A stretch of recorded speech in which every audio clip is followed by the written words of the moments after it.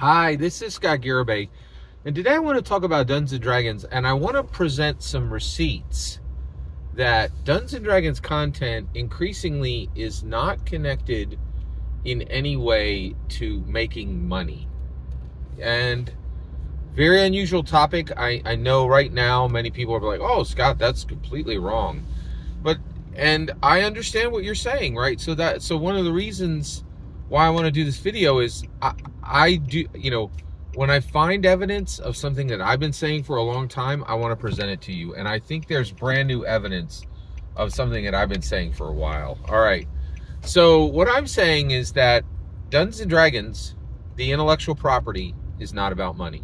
We are like, oh, Scott, that's the most ridiculous thing. We're all capitalists now. Everything's about the U.S. dollar. The that greedy Hasbro they're just gonna get money from Dungeons and Dragons. All they care about that greedy corporation getting your money. And I'm like, nah, you're a fool.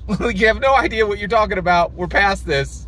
And increasingly, there's massive evidence that global corporations are making content that is completely severed, completely severed from making money. Uh, one, I'm just going to say it really briefly because there's you will literally find actually you'll find a lot of people complaining about about Disney, but one of the things Disney's in trouble for right now is they've been making content that is specifically targeted at 3% of the American public for decades. They're like, "Hey, we could tell you a story that most families would enjoy, that most people would enjoy. Forget that. Here's a here is a story that is hyper focused on what 3% of Americans really care about. And we're willing to burn money in a hole to get these stories made, right? And that's exactly what they've been doing, right?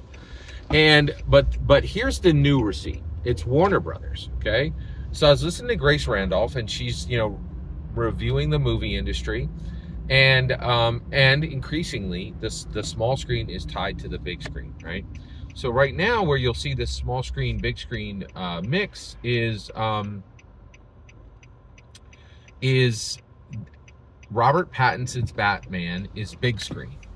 Colin Farrell's Penguin from the Batman movie, there's only been one of them, is um, is now going to be small screen content in a brand new show that's going on Max, which is Warner Brothers owned.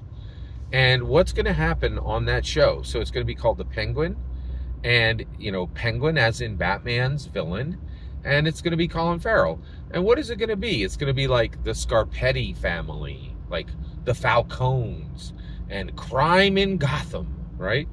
And but here's the here's the reason we're talking today. The Penguin is virtually guaranteed to not make money, right? Now, in my humble opinion. So here's why. So who's it star? Stars um, Colin Farrell but he doesn't even look like Colin Farrell. He's completely covered in makeup, and you cannot, and no, no reasonable person could even recognize. If they didn't know, no one would be like, "Oh, that's Colin Farrell," right? Like it's completely unrecognizable, right? So you're like, well, so he's a real movie star. He's going to cost real money, right? And then, how is the Penguin going to perform? Almost certainly, the Penguin is going to perform exactly like the show Gotham did. So both of these shows are the same thing. Hey, everybody, here's a great idea. Why don't we do a Batman television show that doesn't have Batman? Won't everybody love that? And the answer is no. Absolutely no one will love it. In fact, zero people asked for it. No one asked for another show about Batman that Batman isn't in, right? And I was upset when they announced Gotham. I'm like, you're going to set up the sets, hire all the actors, and give me a Batman show that never has Batman in it. What type of absolute pure garbage is this? Right? And just as, and I, I watched 20 minutes of, of Gotham season one and was like, I'm out. I cannot watch this. This is too upsetting. Right? Like, and then I felt completely correct in skipping the show. Why did I feel completely correct in skipping the show? Well, what did it, what happened with the show? I'll tell you what happened with the show. Right? Uh, basically, um, nothing. No, nobody covered it. Nobody did episode by episode breakdowns. Not at the macro level. There might have been a couple scrub channels that covered it. there was no excitement about the show. Nobody cared about it, right? Because there was no reason to care about it. It's a cop show that's not in a good world for a cop show because Batman is supposed to cover Gotham. It is the most ridiculous garbage show. It got no attention, and there's absolutely no no evidence that the show made any money, right?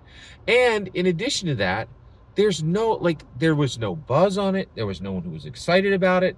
There were no real you know successful toy lines. There were no video game, you know, no successful video games that came out of it. Nothing. It produced, Gotham produced nothing, right? Now the Penguin is the same thing. Hey, everybody, you guys all excited about a brand new Batman show that doesn't have Batman in it? And everybody's like, no, no. So here's the question, right? If Warner Brothers is making another show that clearly, in my humble opinion, I think we have the receipts at this point, right? That no one is excited about, that, that is absolute garbage, and that has, there's no real functioning reason to make, why is Warner Brothers making it? That gets very interesting, right? And this is what I'm talking about with Dungeons Dragons. I believe that the lore, the history, the economics on Dungeons Dragons are so complicated that not every not a single person in the world understands it. I understand Dungeons Dragons lore and I understand Dungeons Dragons canon. I am desperately trying to understand the economics of Dungeons Dragons. And as I look at Dungeons Dragons, I can tell you right now, Dungeons and Dragons, the purpose of that product is absolutely not to make money. The Dungeons and Dragons product is horribly positioned for money making. And constantly they are making content in it that is not absolutely not positioned to make money. So if Hasbro is making all this D&D content that is not geared to make money, what is it geared for? And and I'm sorry, I'm only bringing the question today, right? So I know you want an answer. And I believe I have I have some theories, right? But I'm still forming them. I'm not ready to present them yet. But I am convinced. First you acknowledge the issue, then you start to address the issue. They're increasingly in our world there are businesses that are being spun up with absolutely no intention of making money. The purpose for the business is something different. And I'm convinced Dungeons and Dragons is one of these. That Dungeons and Dragons existence is, and in my humble opinion, was never about money. It was never about money. And it's less about money today than ever. There's a hundred things they could do commercially on Dungeons and Dragons that they constantly do not do because they're achieving a different purpose with Dungeons and Dragons. A purpose different than making money, in my humble opinion.